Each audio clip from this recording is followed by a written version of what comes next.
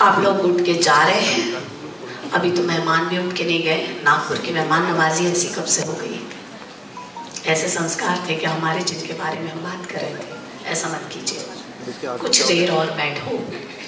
अभी तो रोशन आत्मा तक तराश देने वाली अपनी मुस्कान पर मुझे देख लेने दो। कुछ देर और बैठो। आपको पता तो होगा ही वैसे प्रोग्राम भी थे लेकिन फिर भी बता दूँ कि थोड़ी देर के बाद गायत्री दातार जो कि तुला पाह तेरे देखने वाले सभी दर्शकों की बड़ी पसंदीदा कलाकार हैं। उनका एक इंटरव्यू हमारे नागपुर की प्रखर पत्रकार, मटर की स्पेशल कॉरेस्पॉन्डेंट मंजूषा जोशी जी लेंगी। लेकिन उससे पूर्व, क्योंकि जैसे आदरणीय चावला जी ने बताया, उनकी फ़्लाइट है, अतिथियों को प्रस्थान करना है तो वो औपचारिक समापन अवश्य होगा, लेकिन सत्र चलता रहेगा। गायत्री दातार से हम मुखातिब होंगे। मगर उससे पूर्व इस इतने अच्छे कार्यक्रम की संकल्पना जिन्होंने की है और तमाम अच्छे लोगों को, चिंतकों को, विचारकों को एक मंच पर लेकर आए हैं। आदरणीय Shri Sunil Raisoni ji chairman of Raisoni group and founder of orange city literary fest उनसे मैं निवेदन करती हूँ कि वे अध्यक्ष भाषण दें।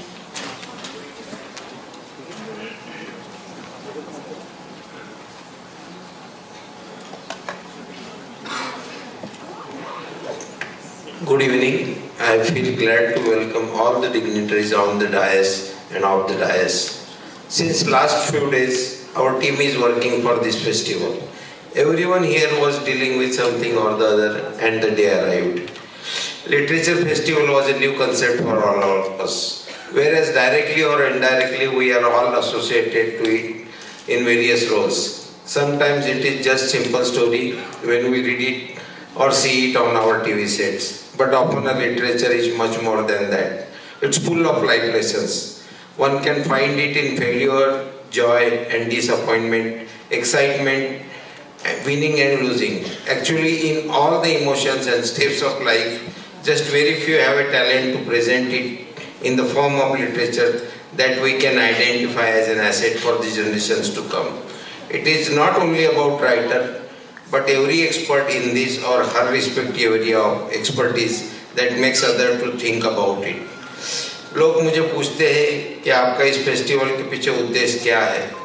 क्या जवाब देना चाहिए? पता नहीं। माप तोल के काम करने की आदत है। मगर इस फेस्टिवल में सिर्फ़ एक ही उद्देश्य रखा था। जब मेरी बेटी श्रुति जयपुर लिटरेचर फेस्टिवल की तारीफ़ करती थी, मैं उसे कहता था, नागपुर में भी एक ऐसा समारोह ज़रूर होगा। I couldn't find words to express this, but I am happy to hear that we are doing it. We Nagpurians can also express with happiness that in our city as well as we have a Lit Fest and we do enjoy it. This is the very first year and there are now years to come. But I express my sincere gratitude to all our speakers and guests that have given an overwhelming response to our request.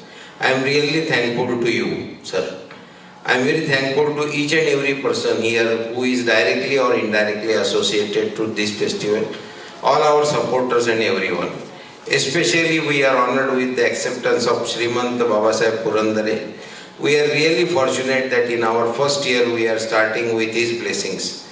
A legend himself, I have no words. माझा मनापासून नमस्कार आहे बाबासाहेब तुम्हाला तुम्हें हाँ स्वीकार के बदल मी खूब आभारी है I don't know how to express especially in front of the experts here I can just say in coming two days we will experience and enjoy the celebration of words thank you one and all